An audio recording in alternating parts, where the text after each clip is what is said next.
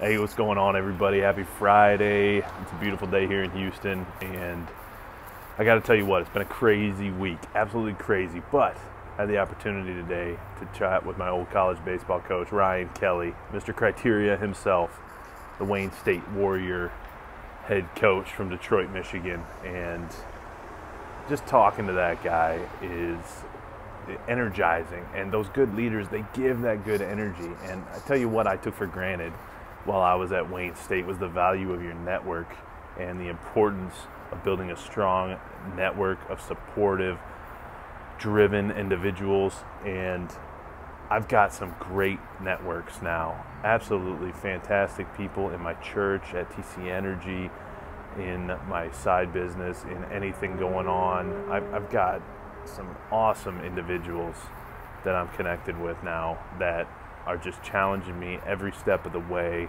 to get better in all aspects so I can go lead everything.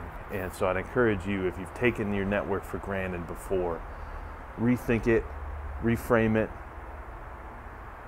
make sure you got the right people in your network. And if you don't, feel free to DM me, go to goleadeverything.com, and we'll get the right people in your network because it's all about mentorship. It's all about knowing the right people, them knowing you, building your reputation, and all of us improving and leading everything together. So go lead everything and have a great weekend.